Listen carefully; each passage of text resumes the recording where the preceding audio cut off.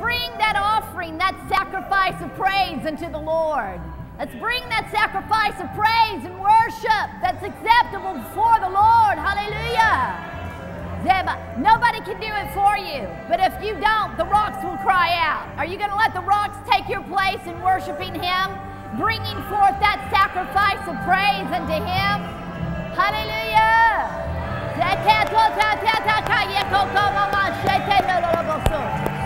Hallelujah. Lord Jesus, we worship you, we worship you, we worship you. Lord Jesus, we draw near, we draw near. Woo, hallelujah. You know, if we draw nigh to him, he draws nigh to us. Hallelujah. How many want God to be up close to you? Hallelujah. Draw near to him and he'll draw near to you.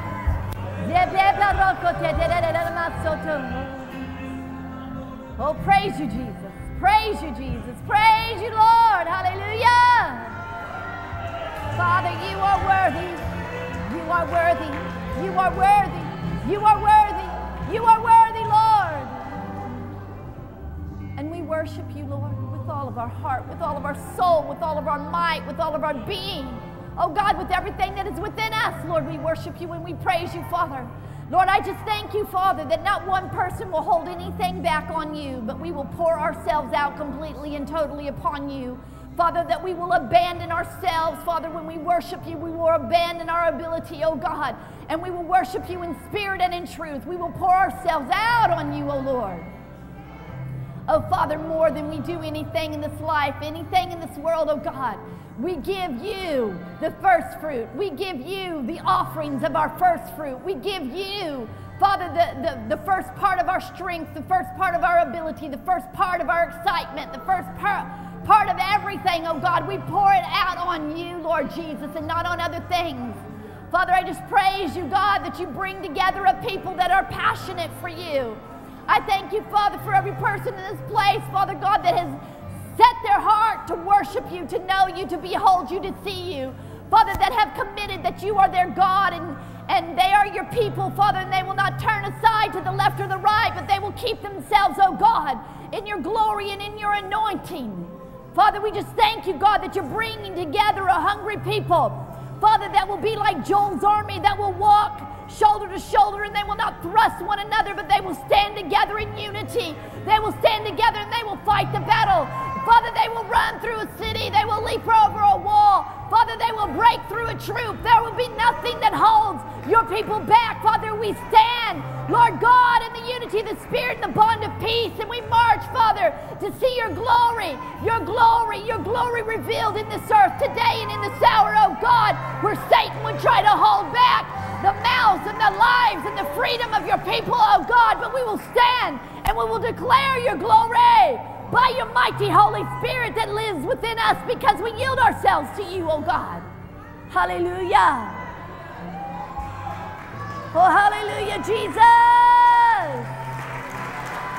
Hallelujah, Jesus. Thank you, Father. Thank you, Father, that you just strengthen every person in this place to go deeper tonight. To go deeper oh God, to shake off any heavy bands that could be holding them back, to shake off anything, Father, that could be trying to bring division in their spirit, that could try to be bringing confusion to them. Oh, Father, any lie of the enemy that set itself against any person, Father, in this place, Lord, we break it tonight, Father, and we just thank you, God, that tonight we're going to go from glory to glory. Father, every young person, Lord Jesus, even the babies that are in this place, Lord Jesus, we just thank you that you touch them by your mighty Holy Spirit and you brand them. Oh, Father, you put your mark upon them, Lord, tonight, Father. Oh, Lord Jesus, that you pierce their little hearts, Father, from this moment on by the power of the Holy Ghost. Oh, Father, that they will serve you with all of their might and with all of their soul and with all their strength, and with all their mind and with all their ability, with everything, oh God. Oh, hallelujah. Father, we thank you for this generation that is coming up.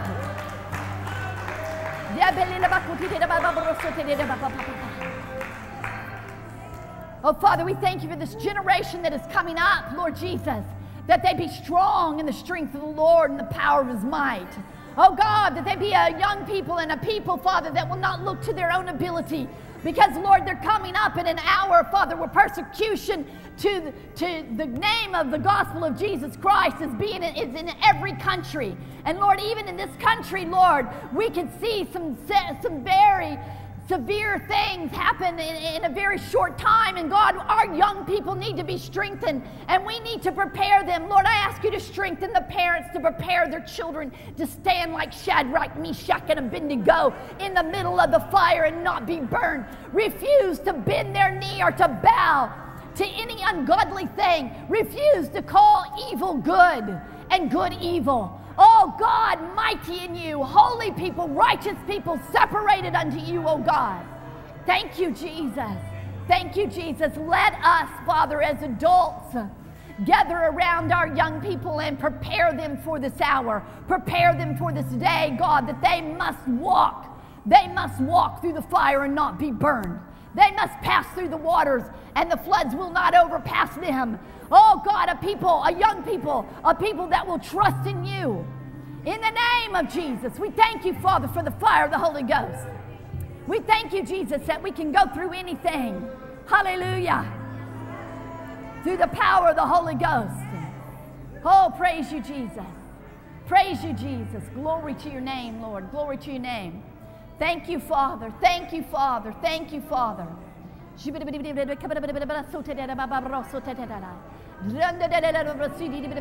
I just don't want you to go.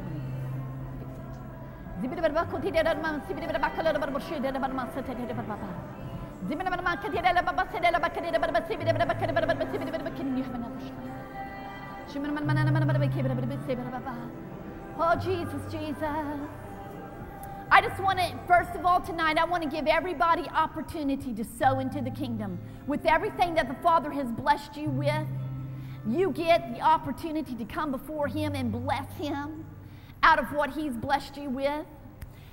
And, and then you can take it deeper. You can be like the Macedonians who learned about the special grace, this grace that He provides the seed to the sower. They learned about it to the point that they gave themselves poor for the kingdom because in all abandonment they took a hold of the fact that God would supply the seed to the sower and the bread to the eater. And whatever we had need of, He would supply it. And so they, they took a hold of this grace and they watched God perform this miracle in them and move them out to walk on the water with finances and see the glory of God revealed. Now, I'm going to tell you, People want to step out into this grace, and they do, and they do it with a, with, with a pure heart and, and just like, God, here I am, because I tell you what, this is the most giving church, I believe, on the planet the most giving people, the most abandoned people. I don't think there's any people that, that just pour themselves any more into the kingdom than the people right here in the abiding place. Every person in the abiding place really means they're abiding in the vine. They mean that with all their heart. Now, is there hindrances that come out against that? Yes. The, does the enemy try to move you? Yes. When you give in all abandonment, does the enemy come against you and fight your finances? Yes. Yes. And that's where we fight the good fight of faith. We realize that we're in a war, and no man that wars entangles himself in the affairs of this life, but we take a hold of the things of the kingdom of God and we move and we push things forward. We don't back up, we push forward. We don't back up, we push forward. So when the enemy comes to try to take from us, steal from us, because we've tried with all of our heart by the Holy Spirit to step out, we begin to step out into another grace in giving or another grace in, in speaking and declaring the Word of God or uh, uh, whatever God's having you to do. You know, you step out more in God and the enemy wants to push you back over into your little corner and say, no, no, no, you're not going anywhere. He'll, he'll bring down all kinds of stuff to try to shut you up, stop you, and, and, and, and make you unable to do what God's called you to do if you let Him. But you've got to realize, you've got to realize that there's a battle afoot. And God's equipped you to fight it through the Holy Ghost, by the power of the Holy Ghost. So you don't weary in well doing. You don't weary in it because you will receive, you will receive the blessing. You will be blessed. you will receive the inheritance. You will take a hold of it if you don't weary and you don't faint. So don't faint. Don't faint. Say, I'm going deeper. Say, okay, enemy, you attacked me in this way. You know, and I look at it as a battle. I strategize times. I think it's by the Holy Spirit. I'm like, okay, you came out over here, I'm going to come out over here. I'm going to get stronger. I'm going to get bolder. I'm going to go deeper. I'm going to do more. Okay, you, you, you did that, okay? That's 10 people I got to go witness to right now. Lord, show me where they're at. You know, let me go shake up the enemy's kingdom. Don't, don't let the enemy make you afraid of him and push you back. You make him afraid of you when you get up in the morning. You make him afraid that you woke up for him to say, oh no, oh no. Oh, hallelujah, because the greater one lives on the inside of us and he enables us to do all things. Hallelujah. Through Christ who strengthens us. Oh, praise you, Jesus. So I want everybody to just come and bring that sacrifice of praise, that sacrifice of worship. Come and honor the Lord with the things that he has blessed you with. Hallelujah. Thank you, Jesus.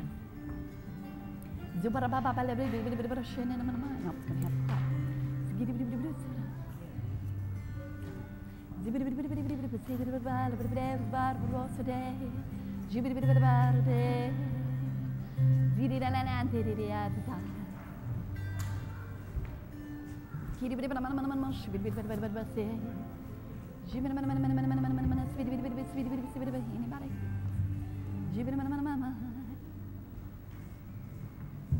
Oh, praise you, Jesus. Praise you, Jesus. Praise you, Jesus. Praise you, Jesus. Praise you, Jesus. Glory and honor to your name, Lord. Hallelujah.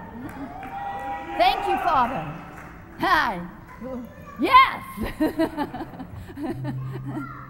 oh, hallelujah, Jesus. We praise you, Lord. We praise you, Lord. We praise you, Lord Jesus. Ooh, glory to your name, Father. Glory to your name. Father, we just thank you for the rivers of living water pouring forth in this place. If you guys get quiet, I'm going to come out and shake you. You're not going to get quiet on me tonight. We're, we're worshiping the Lord and we're here together. We're here together as the army of the Lord, standing against the wiles of darkness. We're going to push this thing forward. We're going to go after the things of the kingdom like never before. I tell you what, we live in troublesome times. We live in troublesome times.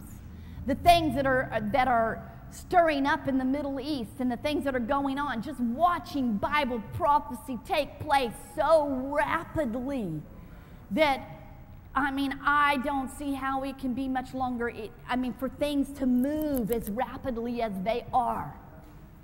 Jesus could come at any moment because things can take place like that. It's no problem for God. But to see more Bible prophecy taking place to where the end times are here, they're here. How we can go through another generation is beyond my, my thinking as I see what God is doing. But God so loves the world. He so loves the world that he's, he's going after that harvest. He's going after that harvest, but at any time he could, he could put in the sickle and reap that final harvest before, before Jesus comes to gather us all away to live with him for eternity. And he brings forth that great wrath upon the earth and he deals with the sin and the ungodliness. And our nation, unfortunately, has come under that ungodliness from the leadership all the way throughout the country. Of course, you know, when the people were wicked in the, in, in, back in 1st and 2nd Kings and 1st and 2nd Samuel, when the people were wicked, God always rose up a wicked leader to lead them into a bunch of trouble because God didn't want to lead his righteous men into a bunch of trouble. So he rose up a wicked leader to lead them into a bunch of hard times. So sure they would repent. They would see the mess that they got themselves in and they would turn from their wicked ways. The mercy of God, the goodness of God that allows those things to come to bring repentance. And the righteous suffer along with them, but that's okay. You've got to remember Isaiah chapter 3 Say to the righteous, it will, be, it will be well with them, for they will eat of the fruit of their doings. God will take care of you. He will take care of you. It's not about what they can do to this body. It's not about what they can do to this body. They can't touch what's on the inside. They can't touch the spirit. They can't touch what God's done on the inside. I mean, you just think about it. Are you ready to die tomorrow? If you were going to die tomorrow, or say you were going to die next week, or, or just say maybe, Provincial, you have one more year upon this earth before you stand before God and you hear Him say, Well done, thou good and faithful servant. One more year. Just think about what would you want to do with that one more year? How would you want to spend that one more year? Because we don't know. We don't, I mean, in one year, I mean, it could all be just ripe for the picking in one year.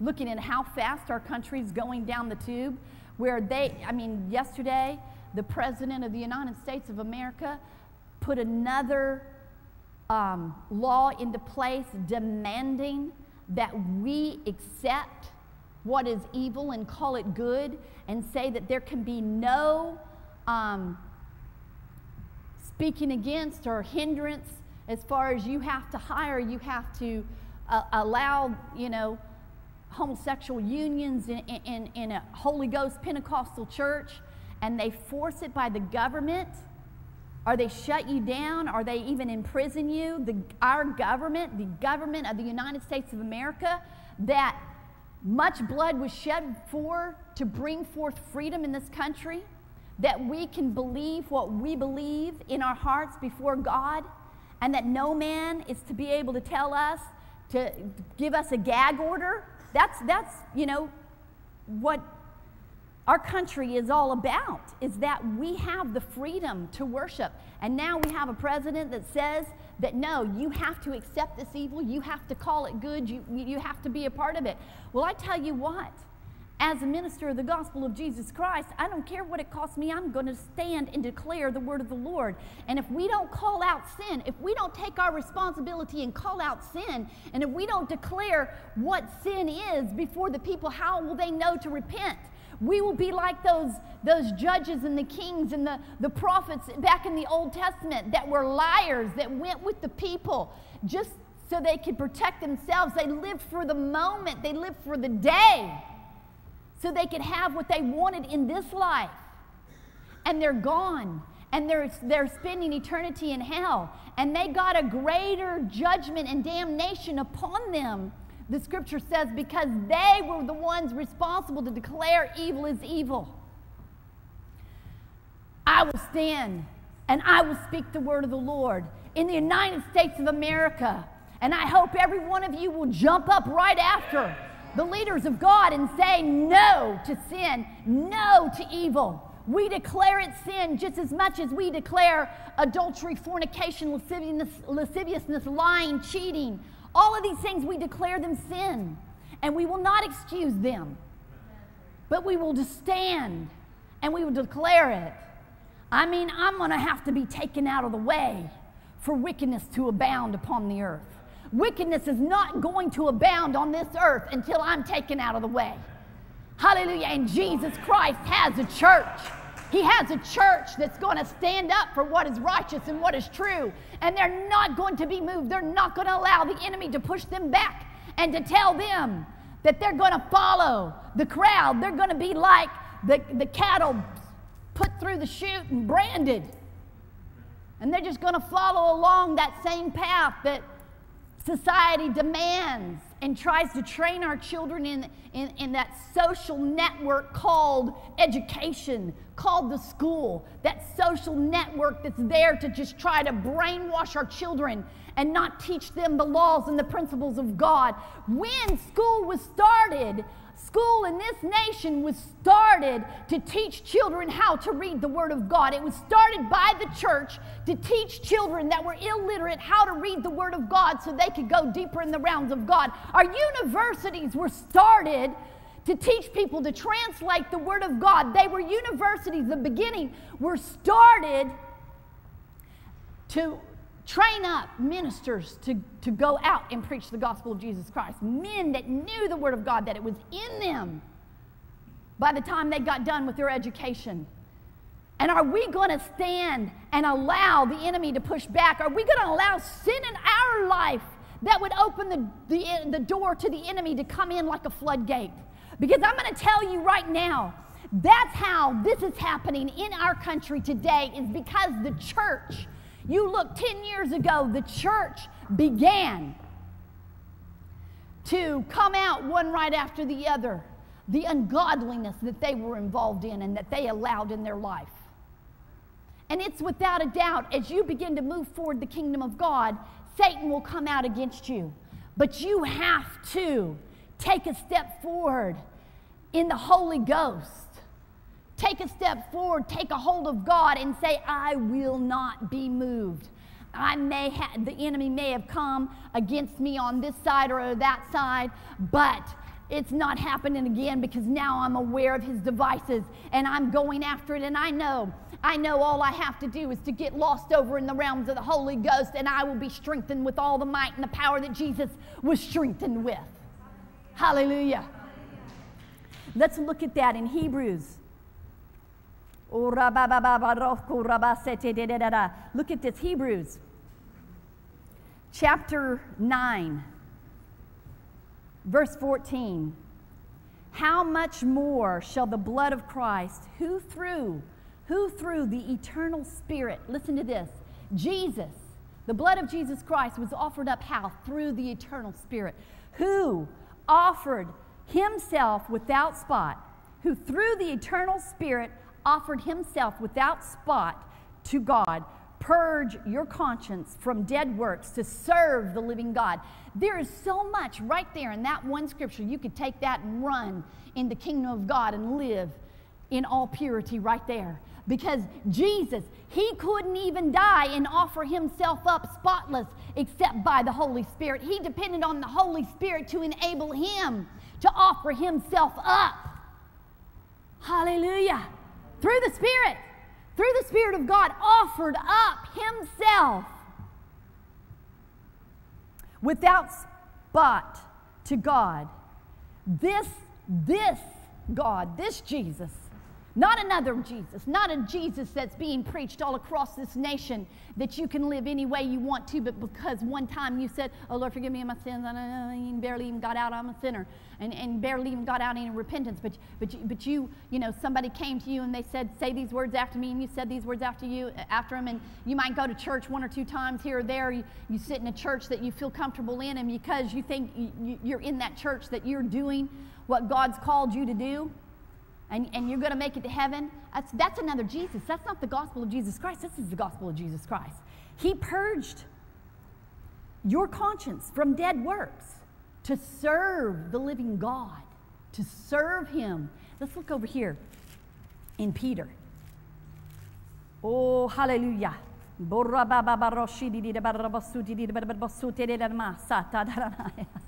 Ooh, Jesus. Praise you, Father. I'm having a good time whether you are or not. Thank you, Father. Thank you, Lord Jesus.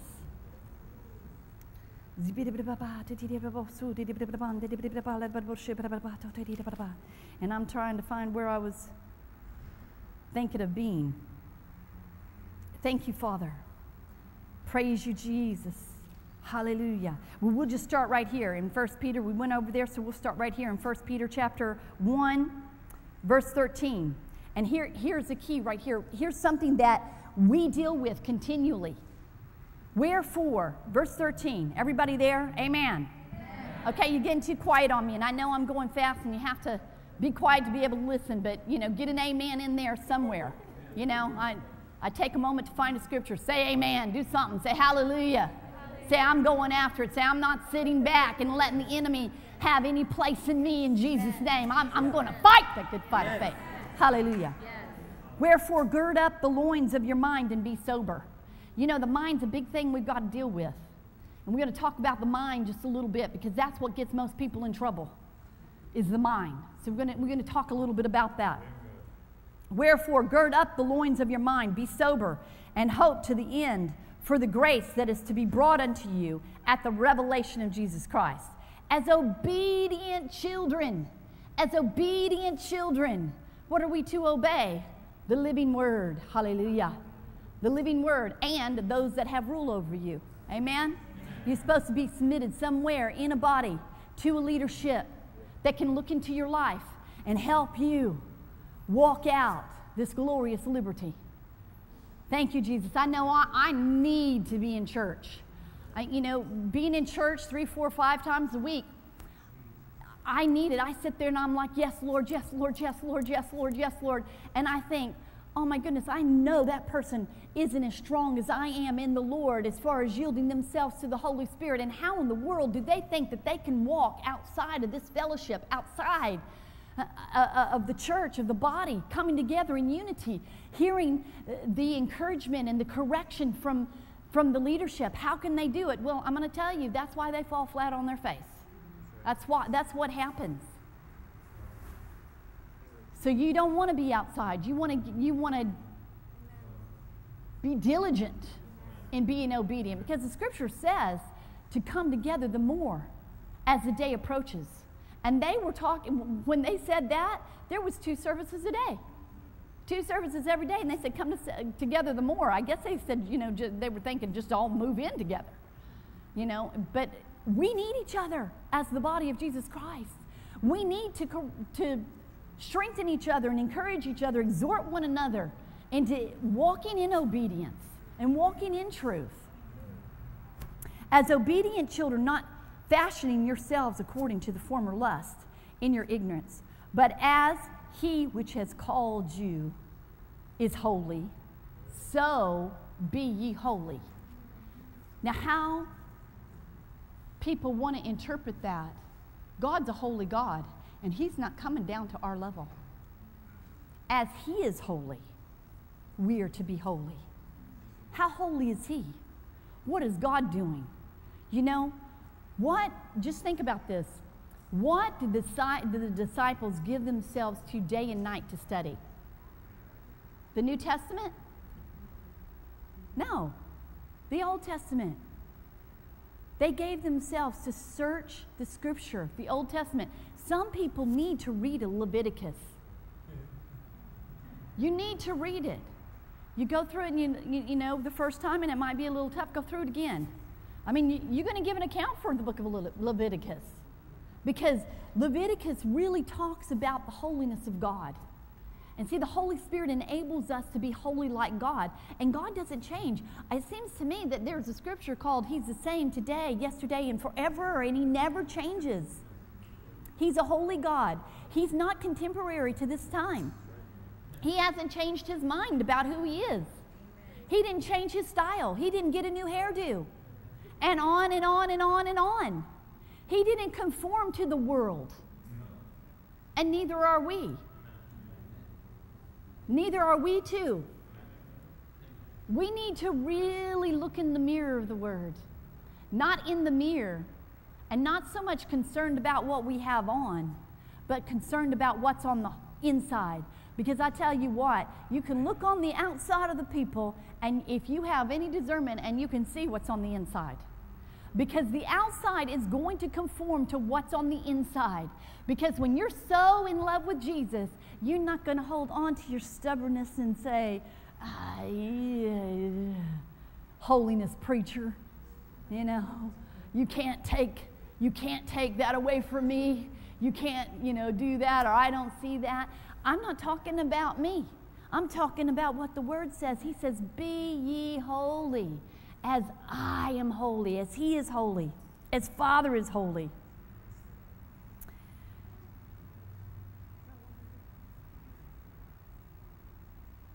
But as he which hath called you is holy, I'm reading it again, so be ye holy in all manner of conversation. So, number one, it starts with our word. Out of the abundance of the heart, the mouth speaks.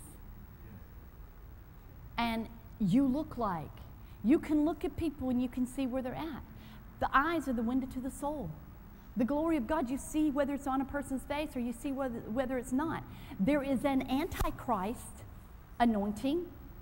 And I've looked at many people and said, yep, they have an anointing. It's an antichrist anointing. It is upon our face. We can t- you can look and you can tell if people are walking and living out the word of God. It's on, it's on your demeanor.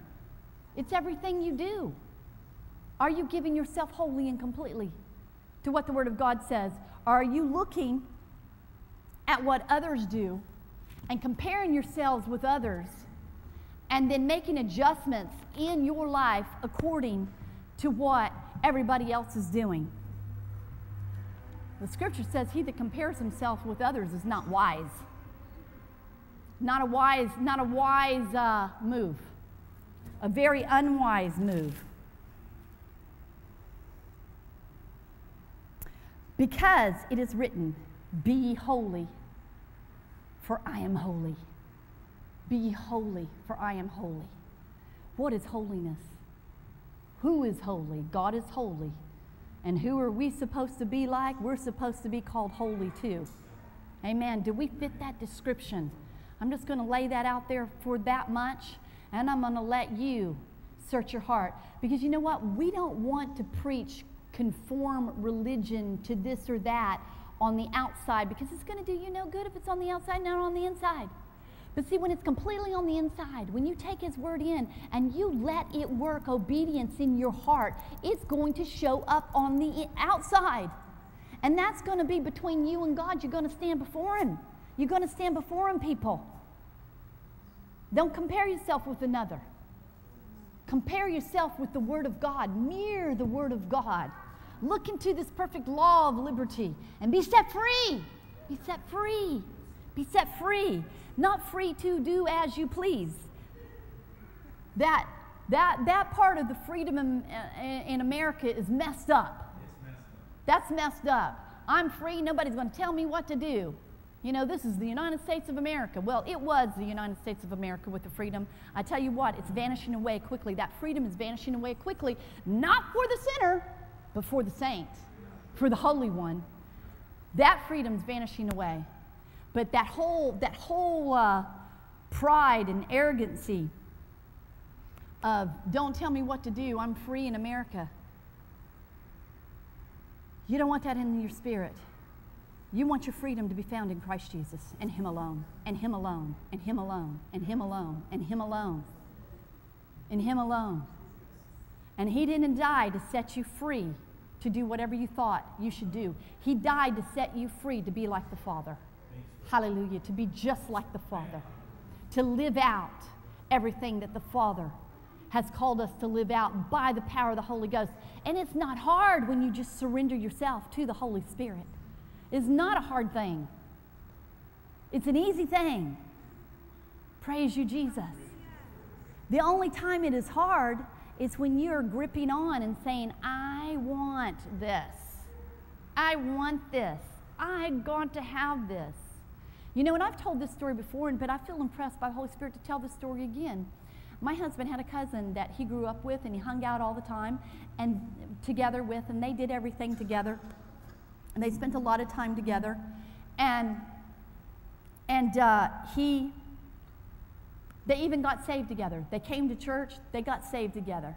And I tell you, when my husband got saved, he got saved. He walked in that night and he, he saw everybody else throw up their hands and he threw up his hands just like they did. He was just a little Catholic boy that, anyway, we won't go there. Want my grandkids to know about it. But anyway, um, he was a little Catholic boy, just did his own thing, but, that, but God drew his heart. We continually ministered on the streets and ministered, ministered, ministered. I mean, we just, I mean, we went over Ocean Springs and Biloxi to where there was just hardly anybody that could, could escape from hearing the gospel. And his heart was pricked and came in with his cousin Doug. And they got saved together. And David was just sold out for God. And Doug, Doug was too. But Doug wanted something that he was holding on to and he couldn't let go of.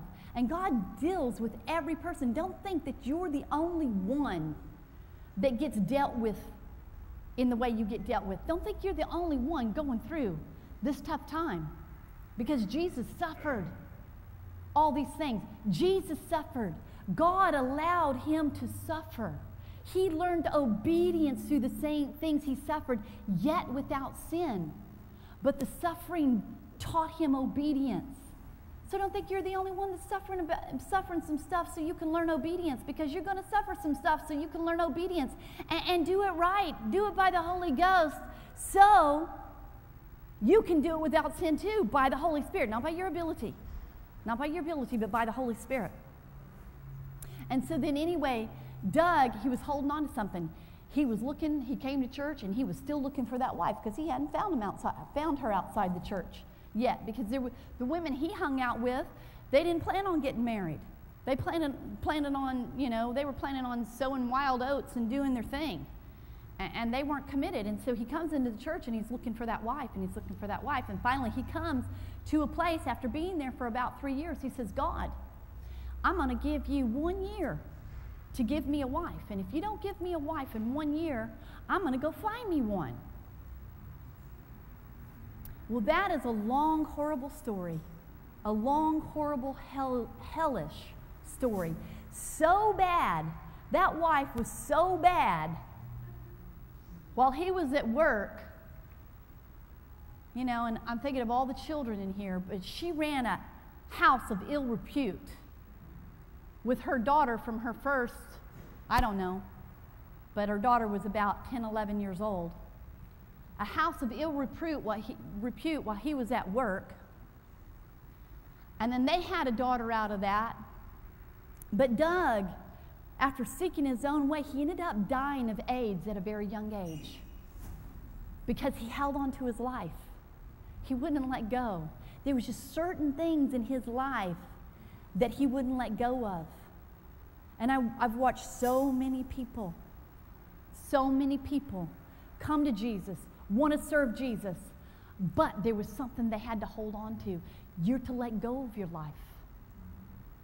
It's not ours, it's bought with a price. It's bought with a price, the price that Jesus Christ shed upon this earth. And then you can walk out a glorious life just like Jesus did. You don't have to have a life of misery. You don't have to die at a young age. You don't put demands on God. You let God. You let God work everything in your spirit. You let God do what He's doing. You don't put the demands there. Thank you, Jesus. Thank you, Lord Jesus. Thank you, Father.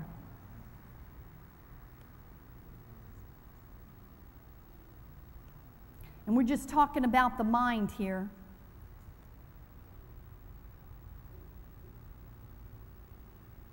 Thank you, Father. I'm just we're just going to go right here to 1 Corinthians chapter 2, verse 10.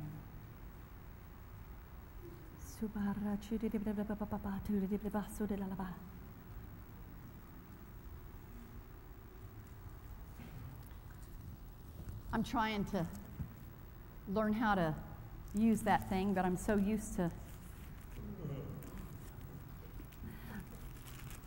my Bible.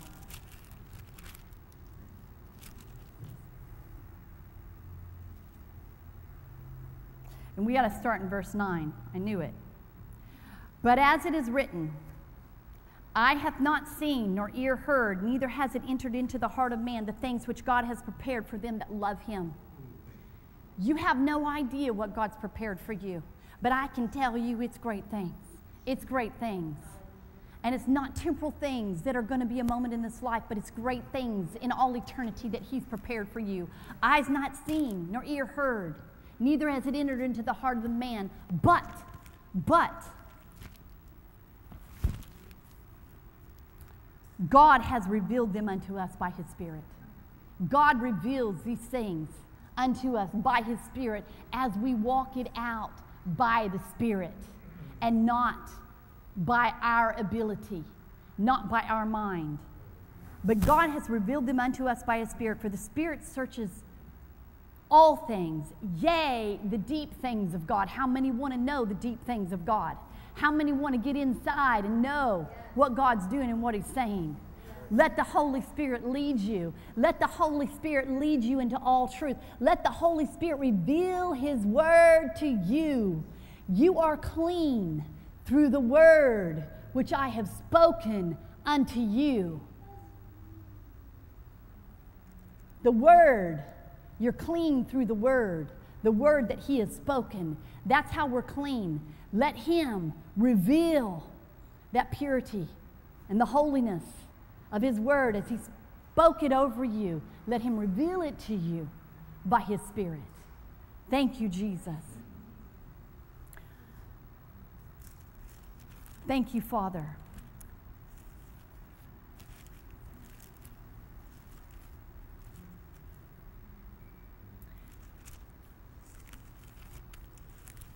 Romans chapter 12, going back to the mind, going back to the mind.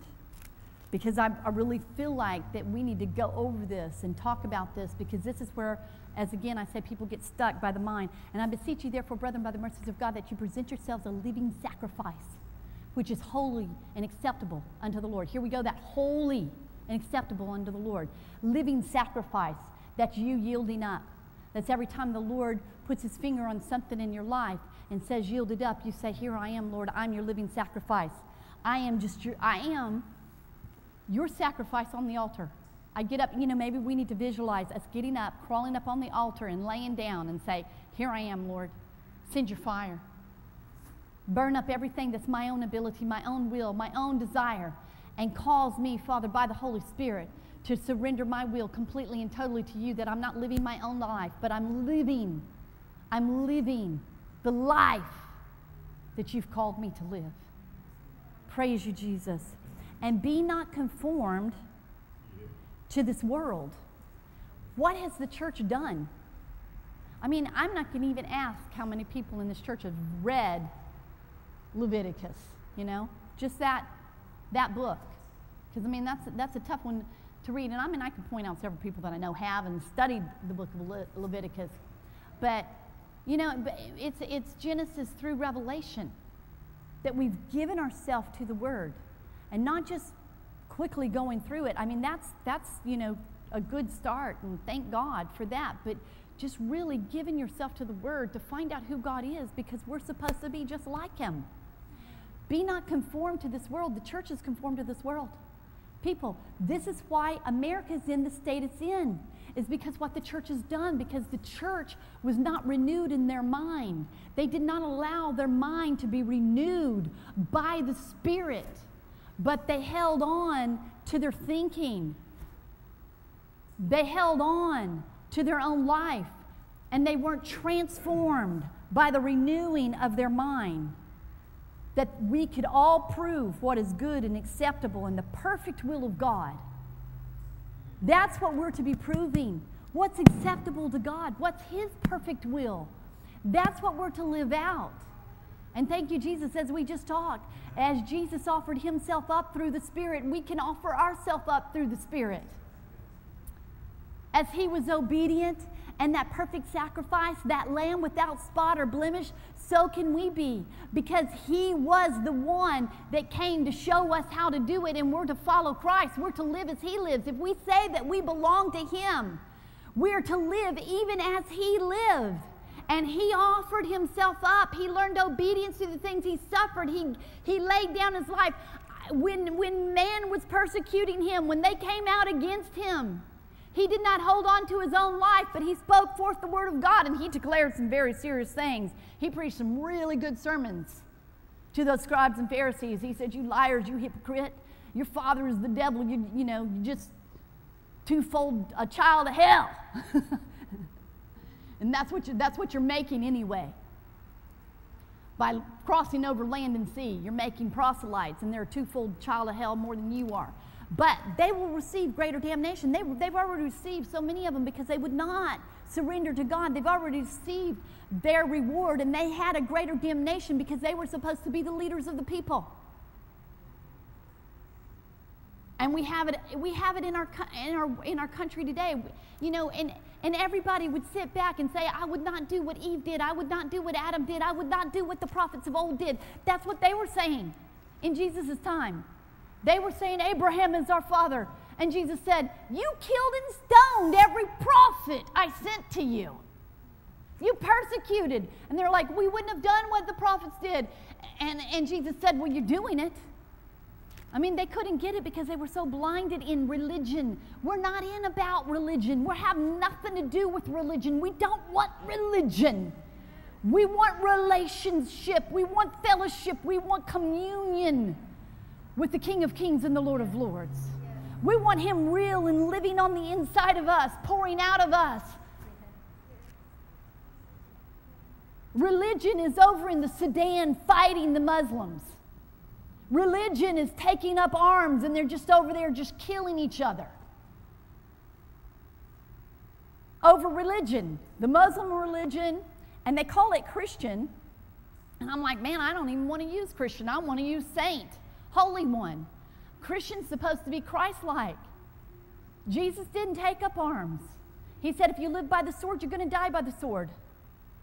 If you're going to pick up the sword and you're going to fight with the sword, then that's how you're going to die. That is the scripture. That is written down. That is for you to take a hold of. If you're going to live by the sword, prepare to die by it. But Jesus laid down his life. He laid down his life. And he loved. Where the Spirit of God is, there's love, there's overwhelming love. And you rather bring the gospel of Jesus Christ to that person that's about to kill you and let the light shine because you know if you shoot them, they're going to go to hell right then and there. The love of God is more about somebody getting into heaven than it is about saving your own life. And that's why we have Christians all around the world today in prison, in jail, being tortured for the gospel of Jesus Christ because they would not fight in this natural life like Moses. He refused to be called the son of Pharaoh's daughter because he rather suffer the afflictions with his own people, with the people of God, than rather enjoy the temporal moment of sin for this very short season because he was looking way be, uh, above this life. We, our thoughts, our minds need to be transformed to the real, Word of God and the will of God, knowing that we are not living for this moment People are just trying to gather and to store up for what they can have and what their children can have. And I understand that as a parent, I want to be able to leave an inheritance for my children. But I tell you what, in the day and the hour we live in, in the day and the hour we live in, it's all about just getting the gospel out and preaching the gospel of Jesus Christ. But we could, because we don't know how long we have. Like I said, what will you do with your life if there's only one year left for you to do what God's called you to do? for you to live out your life? Will you live it for yourself? Will you go and see how much fun you can have? Will you have the most fun that you possibly can have before the income?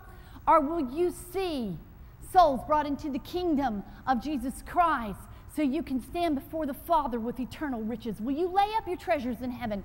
If you knew, if you wrote it down and said, one year from now, it is over. It is over. You know, we're to live our life like tomorrow, it's it. Tomorrow, Jesus comes. That's how He told us to live our life. Not for the moment of today.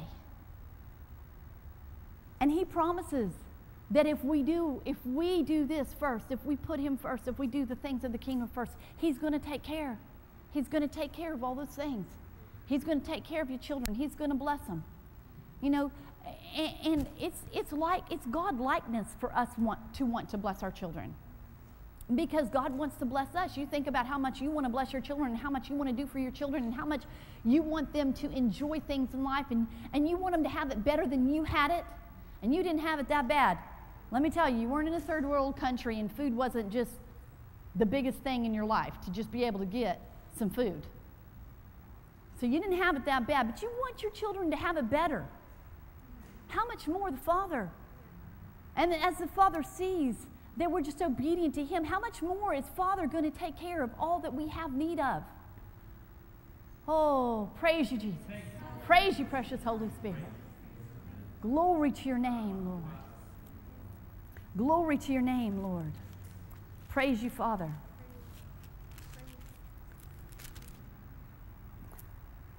I'm going to try this thing again here.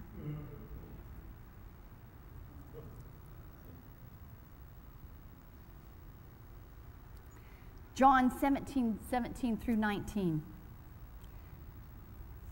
And again, it's fortifying. I just want to get through the, some of these scriptures tonight because there's people that need them. There's people that need to get a hold of this. Sanctify them through thy word. Thy word is truth. This is where you find the truth. This is your fortification. The word of God is your fortification, it's your fortress.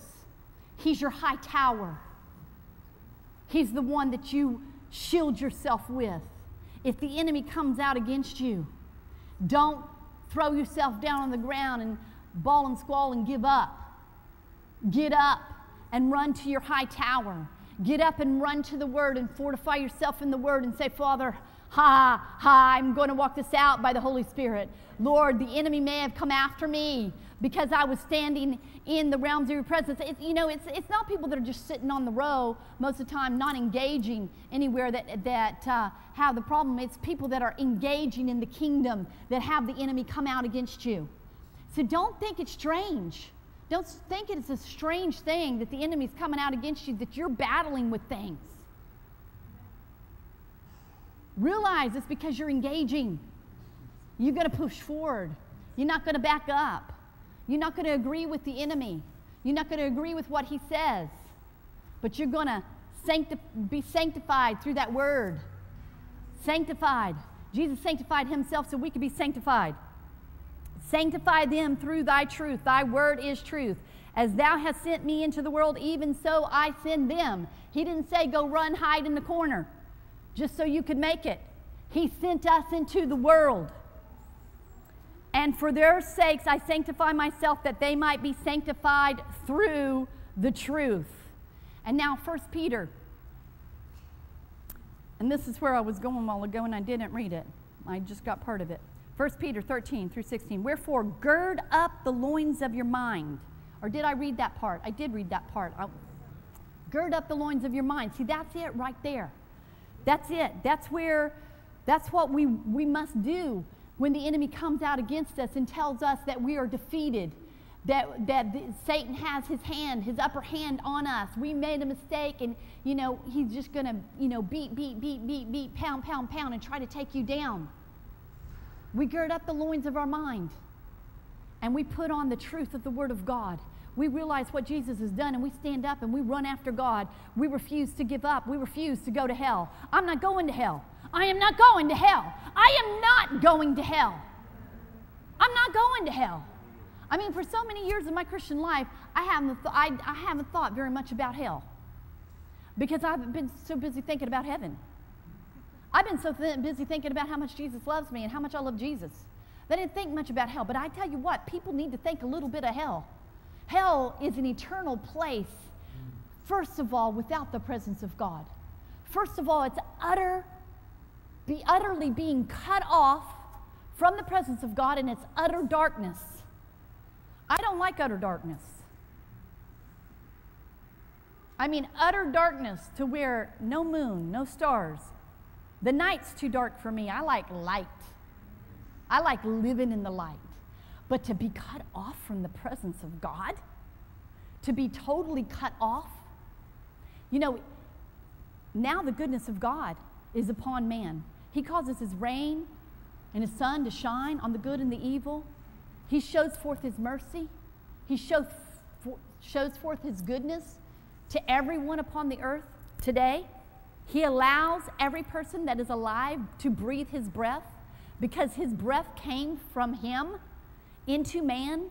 That's how breath got started. He breathed into man, and man became a living soul. So every person, I don't care what you call yourself, an atheist, you don't believe in nothing or this or whatever. You know, that's the new thing with the young people. I don't believe in anything. I don't care what you say. Just take in a deep breath. That's God's breath. And He's allowing you to breathe it. And one day He's going to say, My breath come back to me. My spirit come back to me. And many souls will spend eternity in hell. But the Spirit of God will come back to Him. And the soul will go to hell, for which the Spirit is dead in every man upon the earth unless they have come to the knowledge of Jesus Christ. And then that's when you're born of the Spirit. That's when the Spirit becomes alive. And until then, you are dead in your trespasses and sin. There is no life in you. There's no reality in you until you come to that place of making that decision that Jesus Christ is your Lord and Savior. And then you're born into the spirit realm. And then you can be able to understand the things of the Spirit. And until then, you can't understand the things of the Spirit. Until then, they're foolishness to you.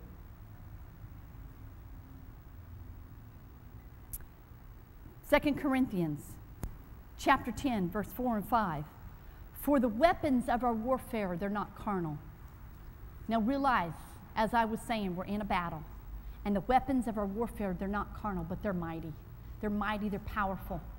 Don't you be afraid of the enemy. You hide in the Holy Ghost. You go fill, you get filled up. You get on your knees and you get filled up with the Holy Ghost. For the weapons are, of our warfare are not carnal, but they're mighty through God. Through God to the pulling down of these satanic powers of darkness, these strongholds, casting down imaginations. What do we do with imaginations?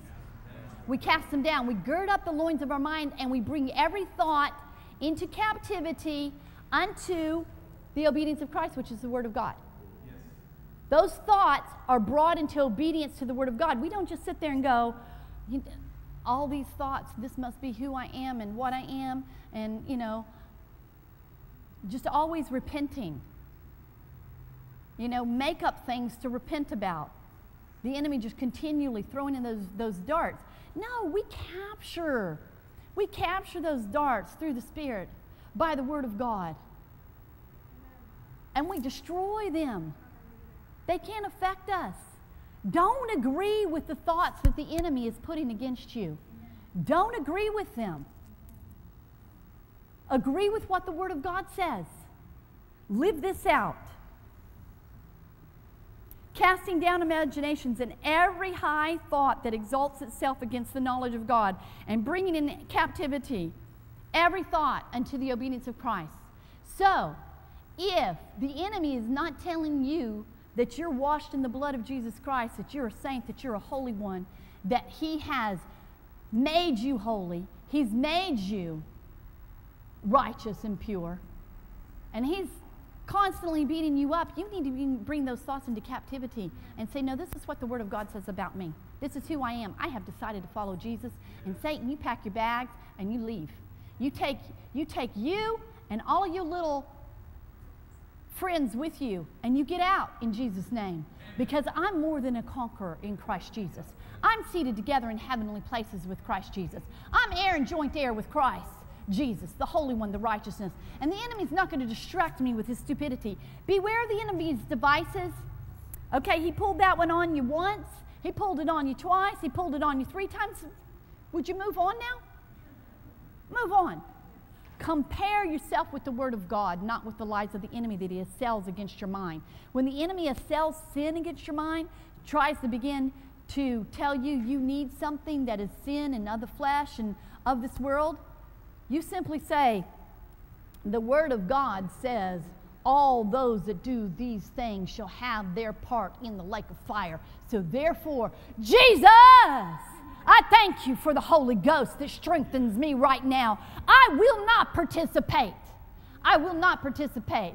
The thing about it is that we need to be aware of is that the enemy starts with little bitty things that you allow him to do in your life. He starts with the things that, that, that seem small, that you kind of pass off, and you don't, you don't guard yourself again, but you need to be careful. You need to be careful that you're walking in the Spirit. Because if you walk in the Spirit, you will not fulfill the lusts of the flesh.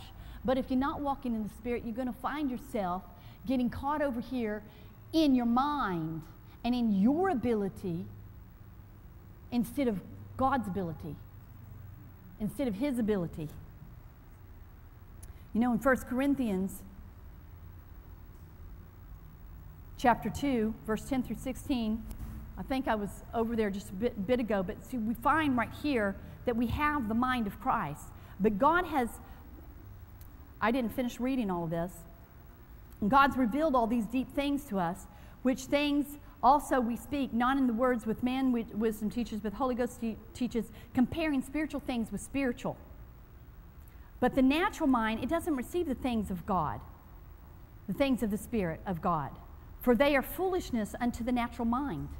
See, so you, you get over here and you're living in you're living in your ability and you're hanging out with what the enemy is putting against your mind and, and you're agreeing with the enemy that you're not washed in the blood of Jesus Christ, that you're not heir and joint heir with Jesus Christ, that you've not been cleansed through the word, you're not clean through the word that he's spoken unto you, and you begin to agree with the enemy, then you're going to begin to look right here in the natural mind where the things of God are foolishness to him. And You cannot know them because they are spiritually discerned. But he that is spiritual judges all things, yet he himself is judged of no man. For who has known the mind of the Lord that he may instruct him? But we have the mind of Christ. If we walk in the Spirit, if we're discerning things spiritual by, by the Spirit, we have the mind of Christ. But we have the mind of Christ if we're walking in the Spirit. We're not going to fulfill the lust of the flesh. So, how to keep yourself out of fulfilling the lust of the flesh? It's very simple walk in the Spirit. And every person in this place could say, I have heard this over and over again, but I want every person in this place to reckon with yourself at this moment and say, Are you walking 100% of the time in the Spirit? 100% of the time yielded over to the realms of the Spirit. 100% of the time, not allowing the enemy to take you down for any moment. There's not a whole lot of people in here that can say that, I'm going to tell you. Because you get under the battle and you forget about what God's done for you. And that's why we're here, and that's why it's such a necessity to be in this place, to be encouraged and strengthened and push forward and, and, and have that unity coming together saying, We're going to walk this out, we're going to live it. We're going to be everything that God's called us to be. Hallelujah. Thank you, Jesus. Thank you, Lord Jesus. Thank you, Jesus. Praise you, Jesus. Philippians 2, chapter 2, starting with verse 1.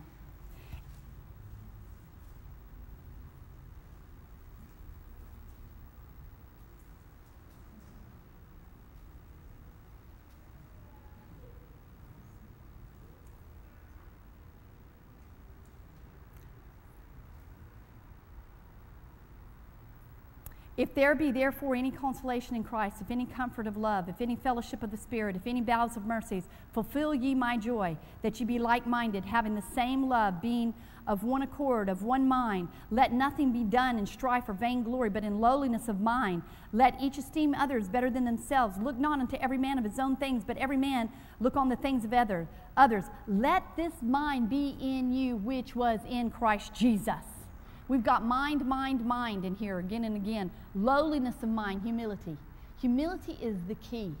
When you get puffed up and just go, I got it, and, you know, and we're not just always loving and humbling ourselves and serving one another and having, you know, the spirit of, uh, of humility toward each other and letting, letting other people speak into our lives. When, when we think that we're more than what we ought, we need to think again.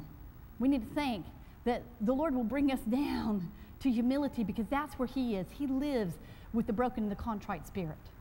Let this mind be also in you, which was in, in Christ Jesus, who being in the form of God thought it not robbery to be equal with God. Everybody wants to stop there. Thought it, let this mind be in you that was in Christ Jesus, who thought it not robbery to be equal with God. And you know, God, God has brought us into that divine fellowship, and it is amazing. It is glorious. But let's go on.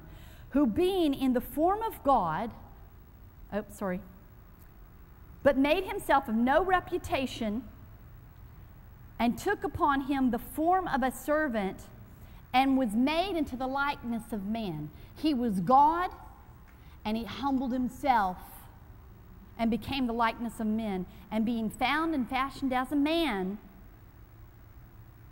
he humbled himself and became obedient. Jesus became obedient. He humbled himself and he became obedient even unto the death of the cross. It was not an easy thing to do as a man. To think of suffering in this body is not easy.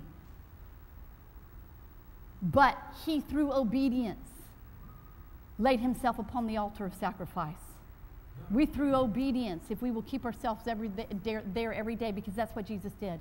That's how he, be, he was the spotless lamb without spot or blemish. That's how he was able to offer himself up, is because obedience. He was always willing to lay down his life at the very breath of the Father. As soon as the Father he didn't, the Father didn't even get it out of his mouth because Jesus was the Word. And the Father just had it in his mind, and Jesus was, Here I am, Father. He went to continually see what the Father was saying about everything. He went and continued fellowship with the Father. He didn't do anything unless he heard the Father um, say it and do it, unless he saw the Father do it or heard the Father say it. He learned as a man to be obedient completely without one error to the Father. That is our call. If we say we are Christ, we are to walk even as He walked. We need to stay in the Holy Ghost. We need to be baptized in the Holy Ghost every morning when we get up. We need to be so full of the Holy Ghost. Amen? And so many people want to put away the Holy Ghost and put him in the back closet, but I'm telling you what. Sorry. I'm telling you what. I've got to live my life out with Jesus by the Holy Ghost. We must. We must look at it with fear and trembling before God. You know, like Moses did when they came to Mount Zion. Because if they even touched the mountain, they were to be killed. And Moses said, I do, I do exceedingly fear and quake. But the real, reality of God, yes, we are come, we are come unto Mount Zion that place where God, God just opens up. Basically, I'll just cut it short. God just opens up and He allows us to go before the holies of holies. But He still, we must, we must work out our salvation with fear and trembling. We must work it out with fear and trembling. We must not count ourselves as to have obtained, but that we will obtain by the Holy Spirit.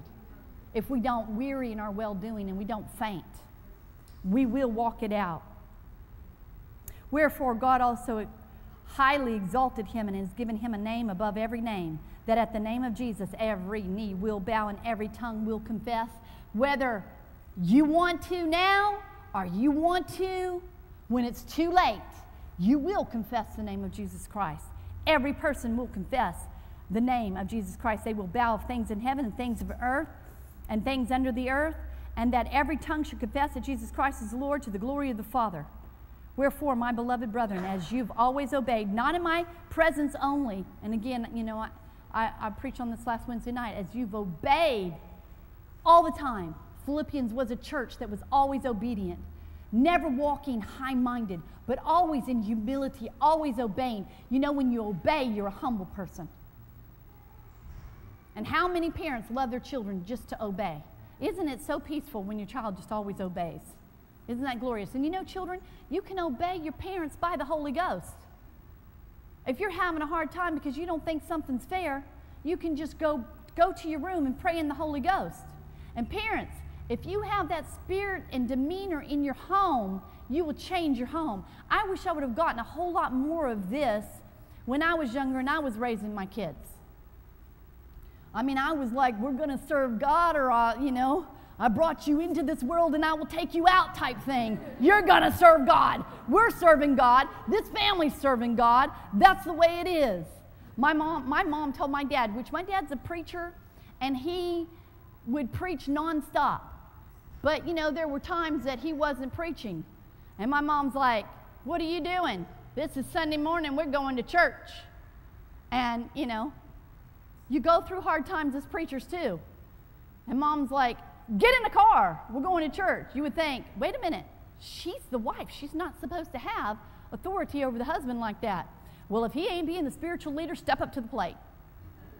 If he is not being the spiritual leader that he's supposed to be, then he's negated his responsibility and he needs a good woman to kick him in the butt. Behind, excuse me. And help him get to that place that he's supposed to be. Don't enable him. Help him. And she, my, my, mom, she always said, she said this to me many times. She said, I told your father that I'll go anywhere in the world for him. I'll do anything he wants me to do. I'll be a servant to him. And my mother was an amazing wife, amazing servant. She served more than any person I know upon the planet I have ever met to this day. She served. She served my father. But she says, Buddy, I won't go to hell with you. That's one place I won't go. And she's like, she was after him. She was like, kick it in gear, buddy. Kick it in gear. You be the leader, you be the leader to this home. You know, so women, if your husband's getting, if your wife's, um, husband, if your wife's getting after you, kick it in gear. Don't go, woman, listen to me, obey. You know, just go, amen, you're right. I wasn't, I wasn't making the right direction in the spirit right then, and I needed you to come along and push me. You know, there's a lot of men that don't need that, but there's a lot of men that do. There's a lot of men that are good leaders. But women, if he's not being a good leader at the moment, shift it in gear for him. Take off. Move forward. Refuse to back up. Hallelujah. That's a good wife. That's a good wife. One that's like, we're going to heaven. The children are going to heaven. We're doing what God's called us to do. And it doesn't matter how bad it looks, it doesn't matter what, how the enemy's coming out against us. We are going to heaven. Hallelujah. Hallelujah. And I, will tell you, women, if your husband is not being the spiritual leader of the house, then he can't lead you spiritually. You know, and I'm not talking because he, you know, made one little mistake. I'm talking about if he is sitting down and he is not being the spiritual leader of the house. He's not leading the family to church. He's not leading the family in the things of the kingdom. He's negating his responsibility. Then you you have to step it up. And so spiritually, you know, if, if your husband, if you, you're married to a man that is walking in sin and ungodliness and he's not being the spiritual leader, God will give you the grace he will give you the grace to lead your family spiritually. And there's a lot of good women that have brought their families into the kingdom of heaven when their husband wasn't being a good leader. They pushed forward and, and, and they took a hold of the things of kingdom. And, you know, it's not that you don't honor your husband, you don't respect your husband, because the Bible commands us to do that. We are to honor and respect. But if he's not leading spiritually, if he's leading in the ways of Satan and powers of darkness, you're not supposed to follow that. You're supposed to get up and walk on with God.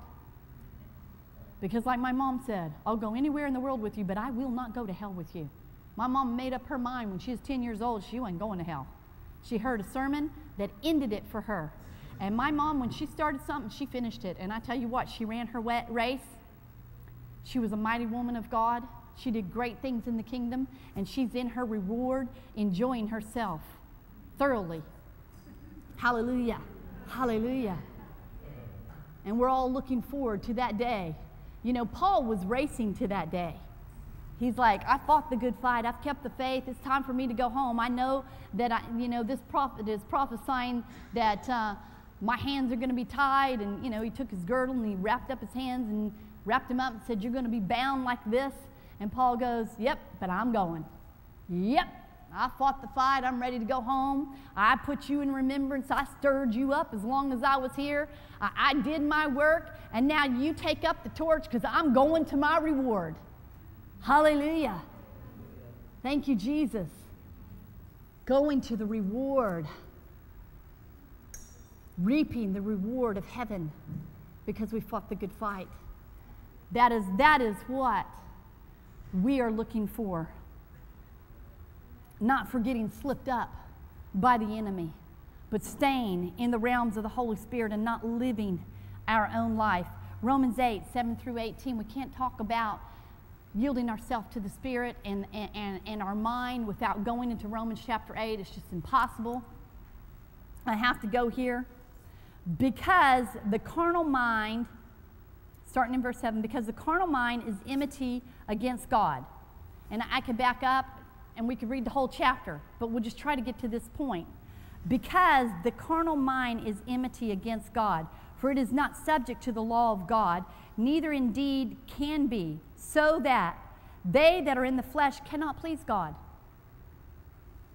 But ye are not in the flesh, but in the spirit. So that carnal mind has no place in your life. Don't go back there. Don't live in that realm. Realize the place that God has brought you and live over here in the realms of the Spirit.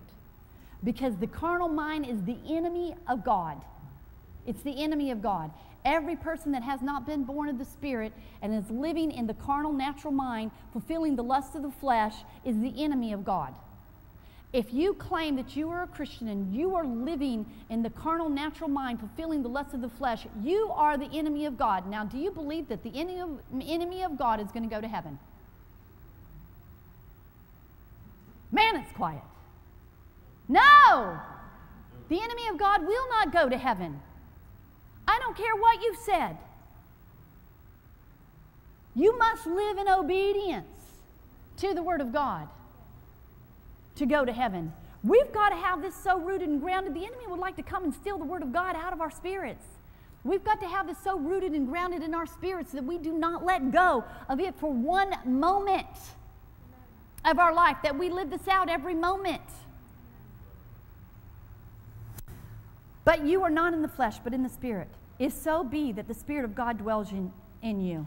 Now, if any man have not the Spirit of Christ, he is none of his. And if Christ be in you, the body is dead because of sin, but the Spirit is life because of righteousness. But if the Spirit of him that raised up Christ from the dead dwell in you, dwell in you, dwell in you, he that raised up Christ from the dead shall also quicken your mortal body. Hallelujah. Your mortal bodies by the Spirit. So you are quickened, you are made alive through the blood of Jesus Christ and the Spirit, the eternal Spirit that Jesus offered himself up through. He offered himself up to God through the eternal Spirit. You must put yourself upon the altar of sacrifice through the Holy Spirit. And you've got to realize that shall we continue in sin that grace may abound? God forbid. Don't we know that he that is dead to sin does not live anymore, any longer in that realm? Romans chapter 6. You don't live there. He that is dead to sin does not live in the realm of sin anymore. That, like as Christ, he died unto sin once. Even so, like as Christ was, he died and he was buried and raised up together again. Likewise, we die. We lay our life on that altar of sacrifice. So if the enemy tries to get you off the altar of sacrifice, say, uh uh-uh. uh you know, he may capture your mind for a moment. He may draw you away into some former thing for a moment. But you run back up onto that altar and you get back up there, and I don't care how many times you have to get back up there, you saying, God, I'm going to walk with you. I'm going to serve you. I'm going to live it out. I am, I'm yours. I want heaven to be my home. I want the realms of the Spirit to be my home. I don't want to burn an eternal flame of torture forever and ever with people screaming out all their ungodliness and their wickedness and their filth and their torture. And that's a bad hell. But the worst part to me is completely separated from the presence of God. I can't even imagine that separation. I don't ever want to imagine that separation. That's horrible. Horrible completely all light of holiness and righteousness taken from you. Oh, Father. Father. Colossians, and I'm going to read this real quick Colossians 1 21 through 23. And you that were sometimes alienated and enemies in your mind by wicked works, yet now hath he reconciled in the body of his flesh through death to present you holy. This is what he's done for you. You were an enemy of God, but He's reconciled your mind, He's reconciled your soul, He's reconciled your spirit. And if you'll just walk it out and be obedient,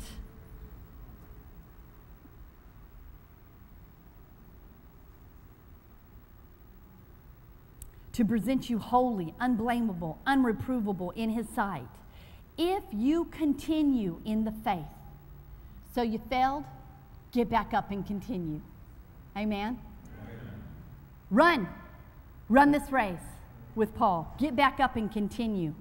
If you continue in the faith, grounded, settled, and be not moved away from the hope of the gospel which you have heard, and which was preached to every creature which is under heaven, wherefore I, Paul, am made a minister. Be not moved.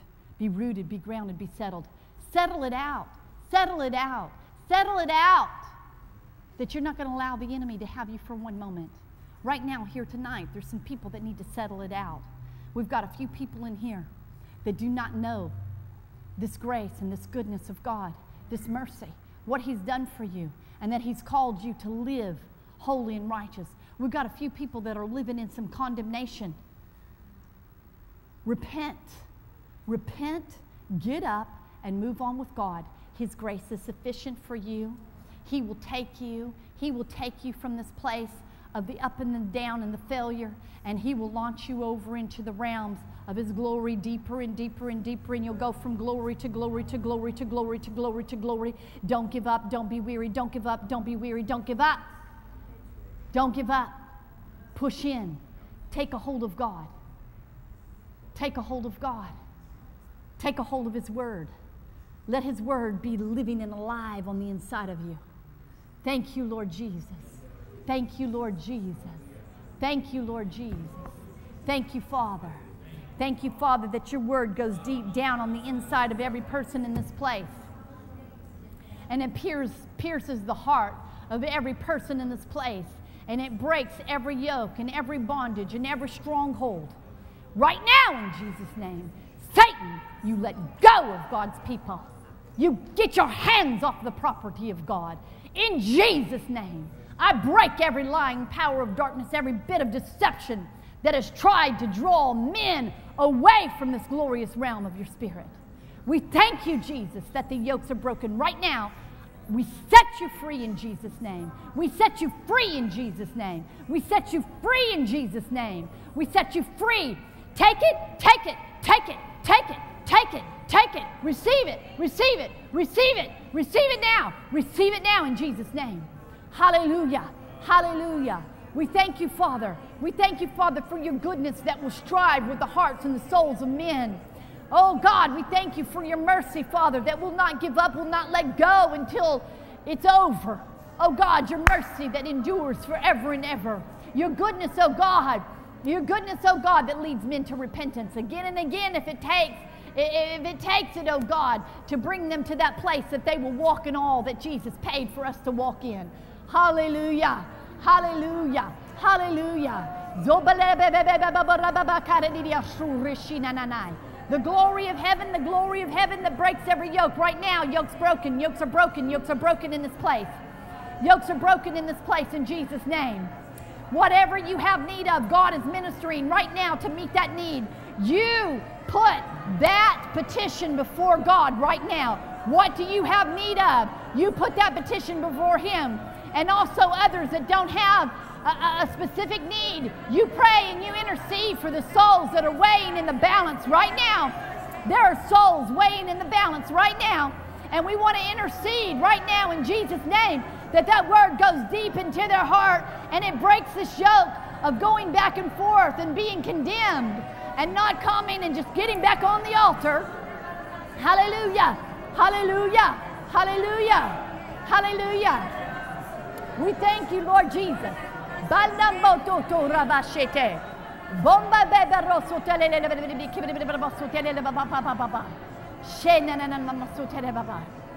Yes, Now there's several needs in this place. There's several needs in this place. There's people that need to be healed in their body, and they haven't pressed in for that. And that's what I wanted to preach on tonight was healing. That's what you know I wanted to press into to, to not only have healing in our bodies and every person in this place, but to walk in over in that realm of signs and wonders and miracles. But there's some things that the Holy Spirit wanted to, need, to, to, to, do here tonight, and things that He wanted to minister and catch people up on and bring them over into getting some things broken off of their life. And so that's what the Holy Spirit is saying. Now we're, we're just going to press in and we're going to see these things broken. We're going to see people healed. We're going to see things that have been hanging on to your life broken off of you tonight in Jesus' name. You're not going to go back there anymore. You're not going to go back there anymore. So I want anyone that needs prayer for any reason, any reason to come. I don't want to call people particularly out for anything because, you know, it's nobody's business right here, right now. But I want, I want uh, every person that wants prayer, and especially anybody that's had struggle and a battle, and the enemy's tried to beat you up and condemn you and the enemy's tried to hold you back from being everything God's called you to be. In Jesus' name. In Jesus' name, we're going to see these things broken off your life. You're not going to, you're not going to, you're not going to hold back. You're going to run. You're going to run. You're going to run. You're going to run in Jesus' name. These things are broken in Jesus' name. The glory of heaven in Jesus' name. We thank you, Father. We thank you, Lord Jesus. We praise you, Jesus. Hallelujah, hallelujah, hallelujah. Hallelujah, Jesus. We worship you, Lord. We worship you, Lord.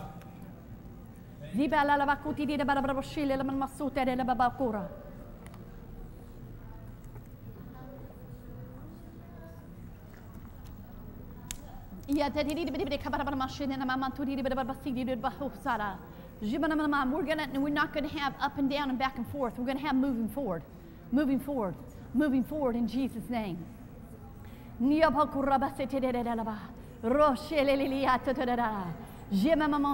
Just begin to worship Him and praise Him and thank Him for what He has already done for you. It is already yours, it already belongs to you. You just moved up here, you just stood up here to go deeper and to have that thing completely broken off. In Jesus' name. In Jesus' name. In Jesus' name. Just begin to thank Him. Begin to thank Him. Begin to thank Him for your petition. Begin to thank Him. Begin to thank Him for it. Begin to thank Him and believe Him that He has finished it, that He has done the work. Hallelujah. Hallelujah. In Jesus' name.